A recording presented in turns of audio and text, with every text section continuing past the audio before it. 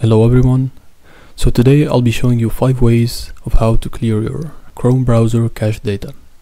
And the reason why I thought of doing this video is because yesterday actually I ran into a very annoying issue that uh, happened to me. It was on YouTube actually, where I, after signing in uh, with a couple of uh, different Gmail accounts, it was basically failing to sign me in into any of those accounts anymore.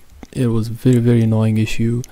It was very weird. It never happened to me before and after doing some digging it turned out as in many other situations to be just a caching problem.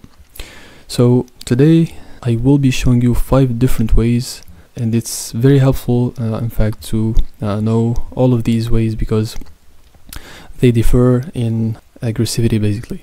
So the thing is when when you have a caching issue the first thing you want to do is not just erase your entire cached browsing data.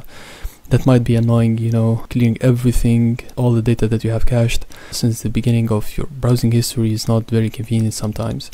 You would lose your autofill information, all of your cookies, all you'll be signed out of all of your accounts. You'll lose your uh, history data. So if you don't want to do that, it might be annoying to have to do it just to fix a small issue. So I'll be showing you exactly five different ways today on how you can address caching issues in the Chrome browser in uh, in the order of least aggressive to uh, most aggressive. All right, so let's begin. So the first thing uh, you want to do is, let's say you are uh, having an issue on a specific website you don't want to rush and clear all of your uh, entire uh, cache before first verifying that this is a caching issue that we're dealing with. So the first thing you want to do actually and the first thing you want to try is to fire up a new uh, Chrome incognito window, test that website in the incognito window and if the issue uh, doesn't happen then it is most likely a caching issue. If you want to do a quick test and just the incognito windows does that for you then you're all set up. But if you know uh, like me yesterday for example with a signing um, signing in issue that happened to me that didn't cut it. So the next the next thing you want to try is to actually fire up the uh, Chrome developer tools. You can do that by pressing the uh, F12 key on your keyboard then you can go to the uh, you should go to the application tab here. And on the left side you'd see a section called clear storage. Here you can you can go to the bottom where it says clear site data. You have a few options here as well.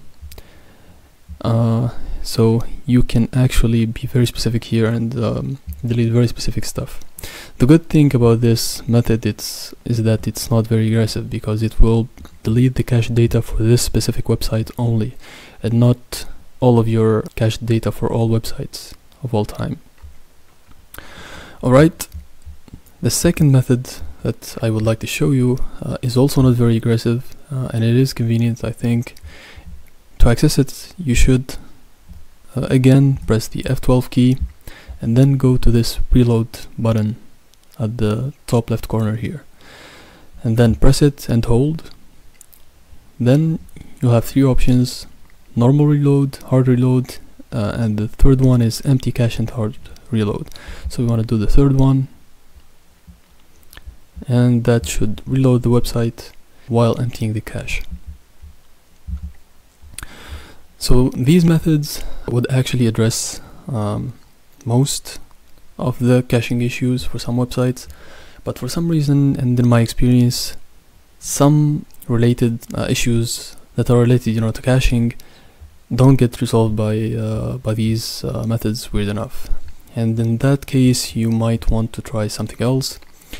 The first thing you want to try is to actually do this go to uh, Chrome settings more tools and click on clear browser browsing data but a very convenient way to do to access it is to just press Ctrl Shift and delete.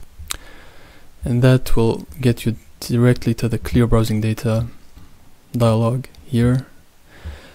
And then and then you'll have the option to specify you know what you want to try to clear here.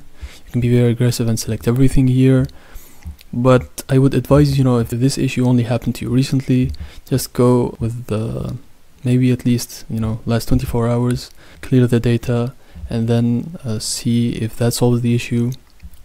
You don't have to you know to be very aggressive and select all the time as a, your first option. And the last method is to actually set up a chrome extension. If uh, you are a web developer that is always testing uh, and doing some modifications to a website you are developing. It can be um, very inconvenient to always you know have to access that dialog box and go and you know select the settings and press enter. So the final method uh, that I would suggest to you in that case is to install Chrome extension called clear cache. You can find it of course here very easily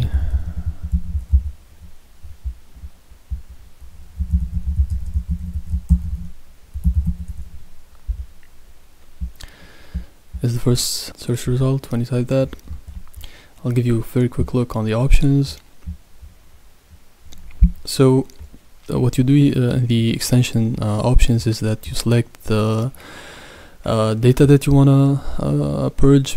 When you press the on the extension button uh, here and the time period and that's it. Then every time that you want to clear the the cache data with the, with the settings that you've already set up you just go here and press uh, this icon here and that's it. And you're all set. Uh, that is all guys. Thanks a lot for watching for watching this video. Um, please you know if you liked the, the content uh, like comment and subscribe to the channel. And that's it. I hope you have a great day. See you in the next one